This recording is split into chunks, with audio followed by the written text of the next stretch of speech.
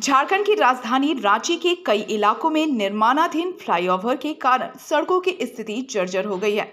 दुर्गा पूजा, दिवाली और छठ जैसे महापर्व को देखते हुए अब रांची के विधायक सीपी सिंह ने राजधानी को दुरुस्त करने को लेकर कमर कस ली है। विधायक सीपी सिंह ने सबसे पहले रातू रोड स्थित निर्माणाधीन फ्लाईओवर के आसपास के इलाकों का दौरा किया और सड़कों को दुरुस्त करने का दिशा निर्देश दिया।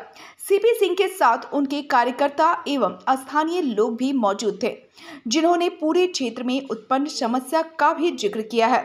अब सीपी सिंह को इसको लेकर गंभीरता के साथ रांची की सड़कों को दुरुस्त करने की मांग की है, जिससे पर्व त्योहार जैसे मौके पर भक्तों और दर्शनार्थियों को किसी तरह की परेशानी ना हो।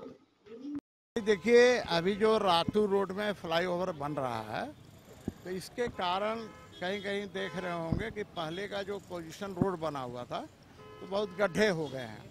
और साथ में बहुत सा जगह डाउन पोर्शन है, जहाँ पानी लग रहा है। कहीं कहीं तो ठेहुना भर पानी लगता है। उपहार सिनेमा के आगे बढ़िएगा। उपहार सिनेमा और टिस्का मोड़ के बिटवीन बीच में आपको पानी, ठेहुना भर लगता है।